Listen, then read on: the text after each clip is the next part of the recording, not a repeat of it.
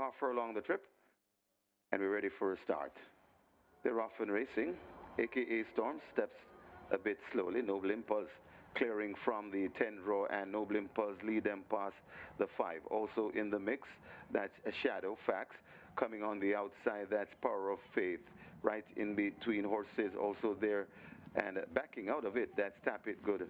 As they go towards the three furlong point on the course, and it is Noble Impulse in front of racing in second, one like it traveling well, passing the three, then comes out wide. That's Power of Faith, right against the rail and fading back a bit. That's Shadow coming on on the outside. That's Joe there at the top of the lane, and it is Noble Impulse brings them into the lane on a merry dance, about four lengths in front of one like it, chasing in earnest, coming on. That's Joe out wide. That is Power of Faith, but this Noble Impulse is not for catching. He's pouring it on. Noble Impulse passing the furlong pole looks to be Omen Dry. The battle is clearly on for second as Noble Impulse and Tevin Foster, terrific Tevin Foster, winning this one.